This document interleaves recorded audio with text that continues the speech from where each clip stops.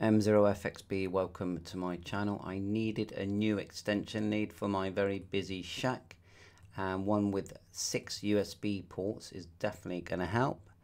This is the one I've decided to purchase. Thought it was a fair price. So I just thought I'd put the link in the description. And uh, thanks for watching my channel. Looking forward to getting this. It's going to tidy up my shack because at the moment everything's on the floor and it just looks, with all the leads coming out, it looks really messy. I uh, could have a nice neat tower. And this one says tower extension lead 2 meters. You can buy them with 5 meters or more. And it does have surge protection and that's important. So thanks for watching my channel 7.3. All the best.